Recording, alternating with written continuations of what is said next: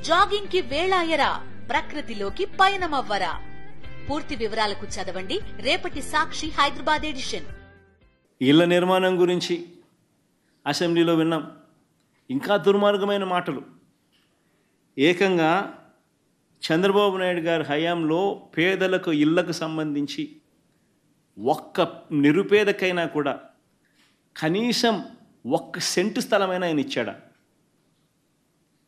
ఒక్క నిరుపేద కుటుంబానికైనా చంద్రబాబు నాయుడు గారి హయాంలో ఒక్క సెంటు స్థలమైనా ఎప్పుడైనా ఇచ్చాడు? అలాంటిది మేము ముప్పై లక్షల అర ముప్పై లక్షల అరవై వేల కుటుంబాలకు అక్క చెల్లెమ్మల పేరు మీదనే మంచి చేస్తూ వాళ్ళ పేరుతో రిజిస్ట్రేషన్ చేసాం ఇందులో ఇరవై ఒక్క లక్షల ఇళ్ళు నిర్మాణం కూడా చేపట్టాం. తొమ్మిది లక్షల రెండు వేల ఇళ్ళను పూర్తి చేశాం. మిగిలిన పదకొండు లక్షల ఇల్లులు పునాదులు దాటి వివిధ దశల్లో నిర్మాణాల్లో ఉన్నాయి. ఏకంగా పదిహేడు వేల జగనన్న కాలనీస్లో ఈరోజు అవి ఇల్లు కాదు ఒక ఊళ్ళే నిర్మాణంలో ఉన్నాయి. ఎక్కడ మంచి పేరు వస్తుంది ఆ ఇల్లులు పూర్తవుతే? ఎక్కడ జగన్ను జగన్కు మంచి పేరు వస్తుందనే ఉద్దేశంతో ఏకంగా హౌసింగ్ ప్రోగ్రామ్నే ఈరోజు జరగడంలా.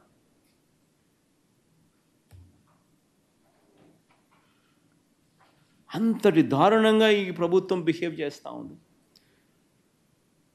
మా ప్రభుత్వ హయాంలో సిమెంట్ సబ్సిడీ మీద ఇచ్చేవాళ్ళం. ఇసుక ఉచితంగా ఇచ్చేవాళ్ళం. స్టీలు ఇక మిగిలిన ఇతర సామాగ్రిలన్నీ కూడా సబ్సిడీ మీద ఇచ్చేవాళ్ళం.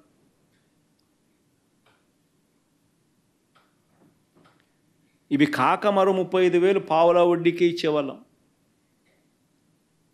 రుణం కూడా. లక్ష ఎనభై వేల రూపాయలు. డబ్బులు కూడా స్టేట్ గవర్నమెంట్ తరపు నుంచి వాళ్ళకు సపోర్ట్ చేస్తూ సబ్సిడీ కింద ఇస్తూ. అంత బృహత్తర కార్యక్రమాన్ని ఈరోజు పూర్తిగా నిరుపేదలందరూ కూడా ఈరోజు చంద్రబాబు నాయుడు తిట్టుని తిట్టు తిట్టకుండా తిట్టుకుంటా ఉన్నారు.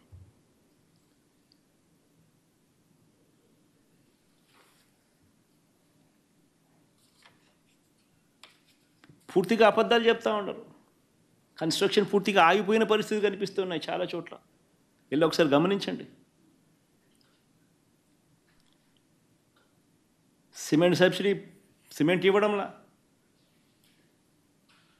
కన్స్ట్రక్షన్ ఆగిపోయిన పరిస్థితి కనిపిస్తూ ఉంది. ఎవడు పట్టించుకోవడంలా ఎందుకు అసెంబ్లీ నడుపుతా ఉన్నారో ఎందుకు ప్రభుత్వం నడుపుతా ఉన్నారో వీళ్ళకి తెలియదు. ప్రజలకు అవసరమైన పనులన్నీ కూడా ఈరోజు పూర్తిగా పక్కకి వెళ్ళిపోయాయి ఈరోజు రాష్ట్రంలో ఈరోజు ఎక్కడ చూసినా కూడా కనిపిస్తూ ఉన్నది ఏమిటి అని అంటే మాత్రం మాఫియా ముఠాలు కనిపిస్తూ ఉన్నాయి. రాష్ట్రంలో ఇవాళ కనిపిస్తూ ఉన్నది ఏమిటి అని అంటే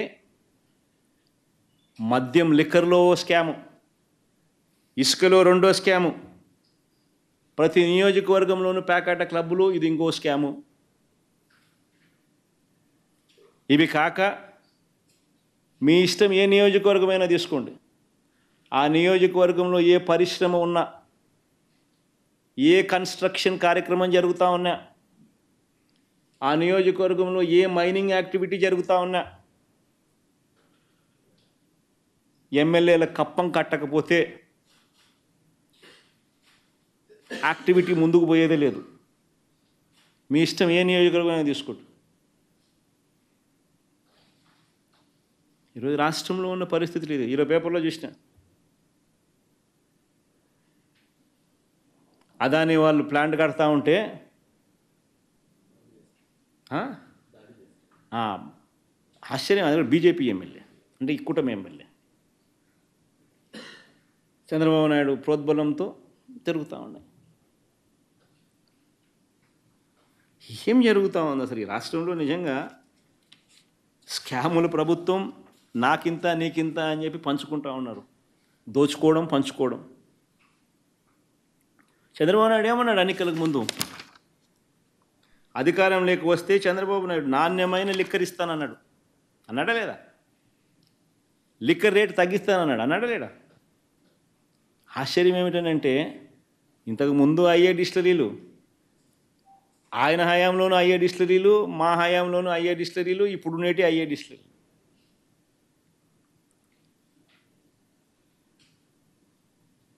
ఈరోజు చంద్రబాబు నాయుడు ఏం చేస్తా ఉన్నాడు?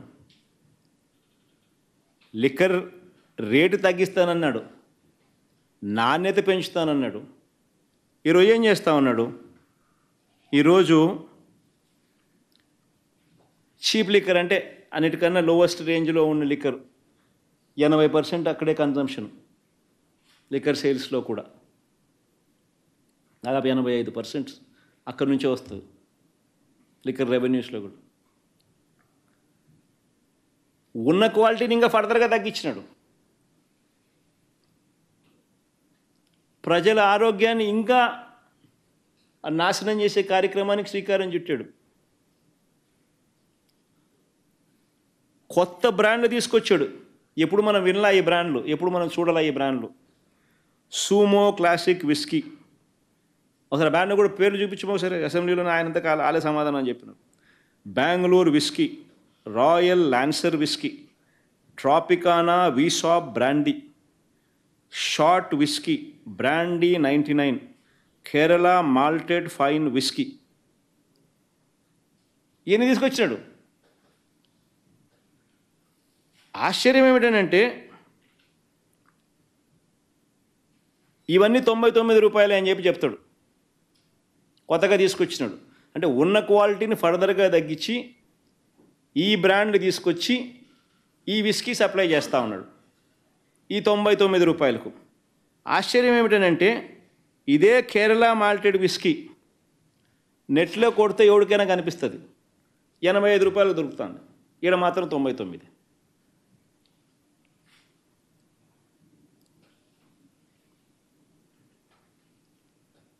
పాత ఉన్న ఉన్న చీప్ లిక్కర్ పాతది ఇంతకు ముందున్న పాత లిక్కరు క్వాలిటీని ఫర్దర్గా తగ్గించి నువ్వు తొంభై తొమ్మిది రూపాయలకు నువ్వు కొత్త బ్రాండ్ను మళ్ళీ తీసుకొచ్చి ప్రజల ఆరోగ్యంతో చెలగాటమాడుతూ మరోవైపున ఇదే బ్రాండ్లు ఇదే లిక్కర్లు పరిస్థితి ఏమిటి అని చెప్పి చూస్తే బయట కేరళ మాల్ట్ విస్కీ ఇదే విస్కీ ఎనభై ఐదుకే నెట్లో కనిపిస్తూ ఉంటే వేరే రాష్ట్రాల్లో మన దగ్గరికి వచ్చేసరికి తొంభై తొమ్మిదికి అమ్ముతా ఉన్నారు. అంటే క్వాలిటీ తగ్గించిన ఈ మద్యాన్ని వైఎస్ఆర్సిపి కన్నా ఎక్కువ రేటుకి అమ్ముతున్నారు. మిగతా బ్రాండ్లు మిగతా కథ మిగతా షీప్లిక్కర్ ఏదైతే ఉందో అవి ఇంతకుముందు నూట ఇరవై రూపాయలు ఉంటేటి సేమ్ అదే నూట ఇరవై రూపాయలు కొనసాగుతుంది ఎంఆర్పి కానీ ఎక్కడా కూడా ఎంఆర్పికి అమ్మడంలా. MRP plus mafia commission. ప్రతి చోట కూడా బెల్ట్ షాపులు ప్రమోట్ చేస్తూ ఉన్నారు. ఒక్కో బెల్ట్ షాపుకు ఒక్కో గ్రామంలో ఎవడికి ఇవ్వాలి అని చెప్పి అక్కడ లోకల్ కాంపిటీషన్ ఆ లోకల్ కాంపిటీషన్లో తెలుగుదేశం కార్యకర్తల్లోనే లోకల్ కాంపిటీషన్ ఆ కాంపిటీషన్లో కూడా ఎవడు రెండు లక్షలు ఇస్తే వానికి ఇస్తున్నారు.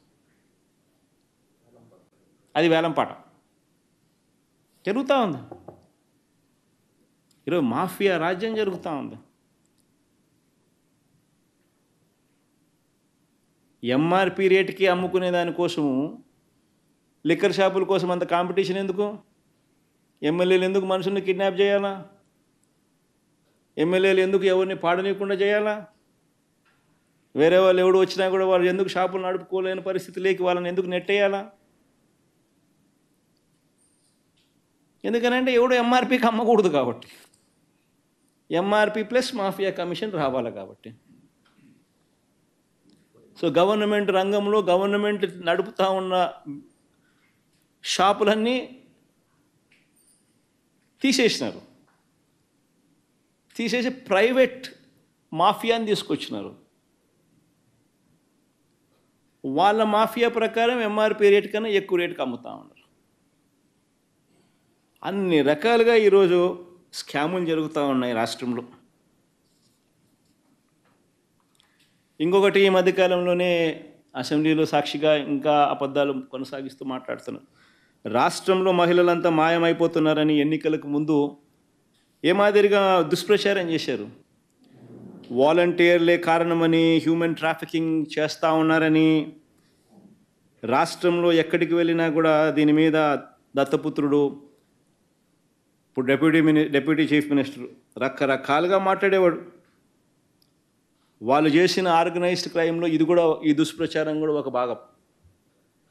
ఈరోజు సాక్షాత్తు వీళ్ళే అసెంబ్లీలో ప్రశ్నకు సమాధానం ఇస్తూ రెండు వేల పంతొమ్మిది నుంచి ఇరవై నాలుగు మధ్య ఐదు సంవత్సరాలలో కూడా కేవలం నలభై ఆరు మంది మాత్రమే హ్యూమన్ ట్రాఫికింగ్కు గురైనారని కేవలం ముప్పై నాలుగు కేసులు మాత్రమే రిజిస్టర్ అయినారని చెప్పి వాళ్ళంతకు వాళ్ళే చెప్పినారని అంటే గతంలో మరి ముప్పై వేల మందిని ముప్పై వేల మంది హ్యూమన్ ట్రాఫికింగ్కి గురైనారని వీళ్ళు చెప్పిన దుష్ప్రచారానికి ఇది ఫుల్ స్టాప్ కాదా?